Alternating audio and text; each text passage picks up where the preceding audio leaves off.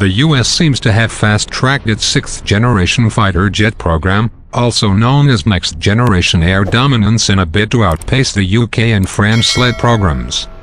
While the US has already flown a prototype of the NGAD, the UK is working on its sixth-generation aircraft Tempest, which once ready, will join the Royal Air Force, Swedish Air Force, and Italian Air Force.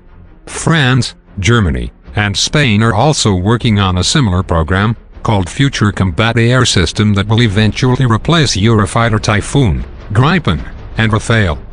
In the US, the F-35 Lightning II will continue to serve alongside the new aircraft well into the 2050s and beyond while the F-22 Raptor would be retired. The sixth-generation combat aircraft will have the following features and capabilities. It will be capable of performing manned, remote-controlled, or onboard artificial intelligence-controlled missions. Enhanced human system interface, with a virtual cockpit which allows pilot 360-degree vision with OE enhanced battlefield awareness. It would have advanced digital capabilities including data fusion, command, control and communications capabilities, high-capacity networking, variable cycle engines, directed energy weapons such as a laser, ability to control drone swarms and other unmanned aerial assets, carry new generation air-to-ground and air-to-air munitions. US leads the race as the NGAD system is expected to be fielded in the early 2030s followed by Tempest in 2035 and Franco-German Spanish jet five years later.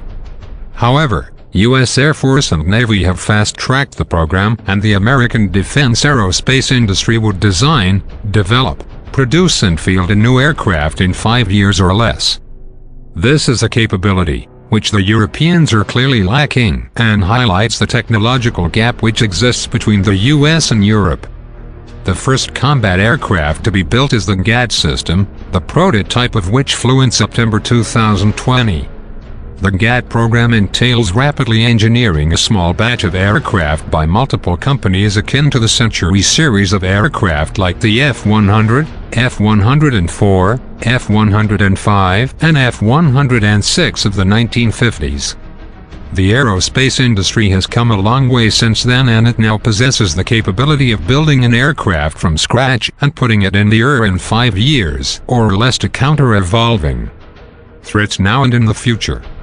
NGAD will be a family of systems, with a sixth-generation combat aircraft at the center of a networked system likely to be paired with unmanned escort aircraft missile trucks among others.